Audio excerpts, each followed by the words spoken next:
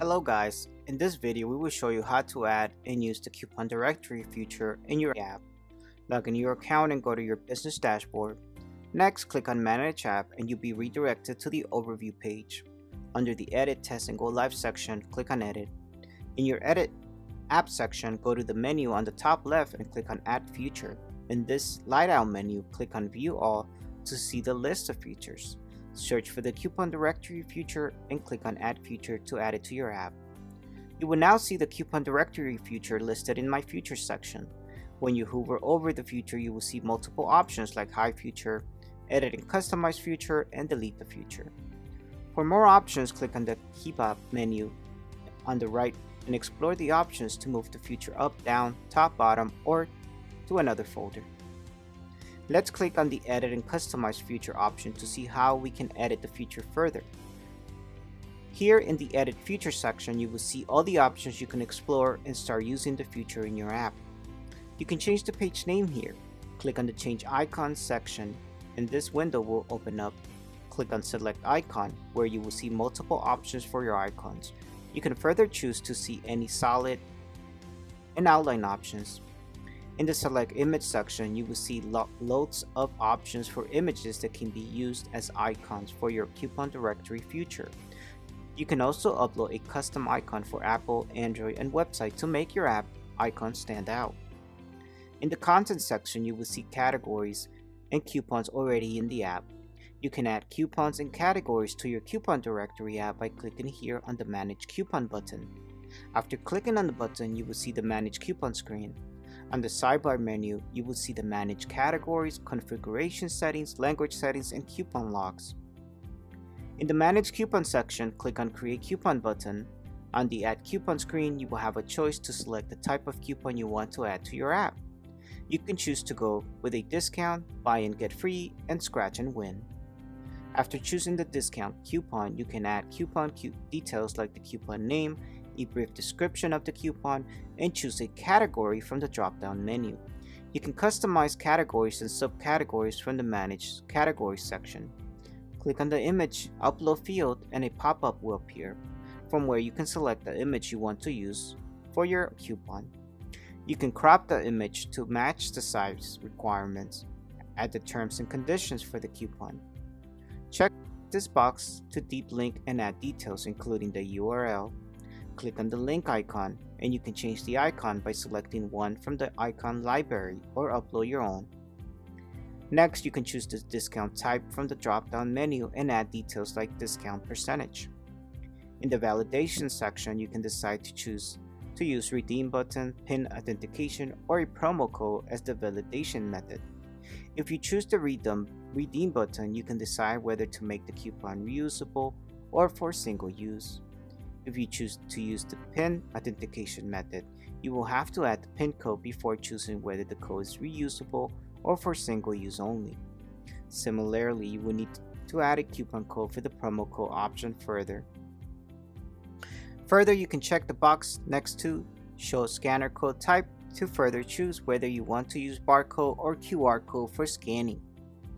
Further, you must enter the issue date and the date to which the coupon will remain valid. Choose whether you want the coupon to be active or inactive.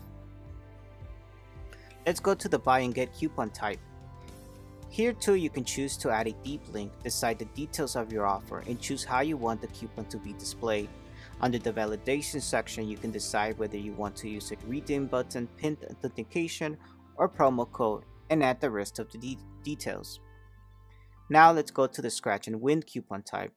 Under the savings section, add a message for the lucky card to announce the price and set the odds for each by choosing the value from the drop-down menu. Write the price announcement and upload an image from your device. You can crop the image to the right size and save it. You can add as many lucky cards as you want to your app and delete it easily by clicking on the delete icon. Just like the lucky card, you can also add an unlucky add card. Add the odds, enter the message for the unlucky card, and upload an image by clicking on the field and choosing an image for the, for the card.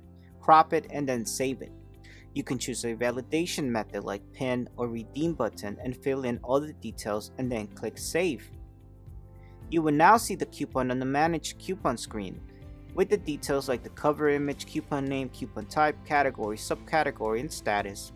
Click on the ellipsis button on the right for more options like changing the status of the app to active inactive, update category, delete coupon, or copy the link.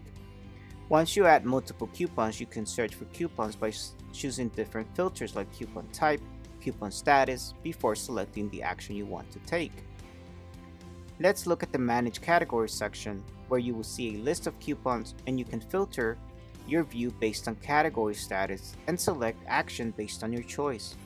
You can also see critical details like category name, subcategories, and the number of coupons in the category. To add a new category, start by clicking on the Add Category button.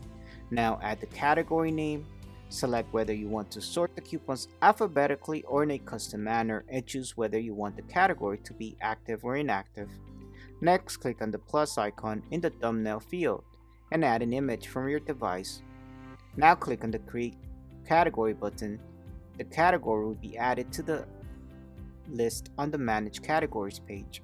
Click on the ellipsis menu on the right for more options like manage subcategories, making a category active, inactive, update category, or delete the category.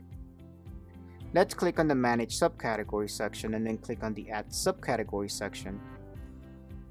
Add the name of the subcategory, select whether you want to sort the coupons alphabetically or in a custom manner and choose whether you want the category to be active or inactive.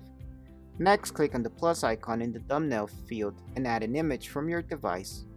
Once the image is uploaded, click on the Create Subcategory button and the subcategory will be added with the details like the subcategory name and the number of coupons. Click on the ellipsis menu on the right for more options like make the subcategory active, inactive, update the category, or delete it. Go to the Manage Category section and you will see the number of subcategory updated. Next, click on the configuration settings. Here you can add an admin email address and make choices like coupon sharing, show expired coupons, sort categories alphabetically, set a default image, show redeemed coupons, and currency. Use the toggle button to make your choices, add a default image by clicking on the icon, and choose the currency from the drop-down menu. Now go to the language settings section and check whether you want to add or edit any field. Click on coupon logs and you will get a record of the coupons. Click on go back and you will reach the edit feature screen. Now that we are done with the content section, let's move to the design section. In the page style and color scheme section, you can click here to see the multiple background image options provided by Appy Pie's platform, or choose a solid color or upload a custom image to be used as the app background. You can choose to use the same image for both portrait and landscape mode or use different ones for both. Scroll down and you would see the layout advanced settings, page element colors, font size, and indent settings.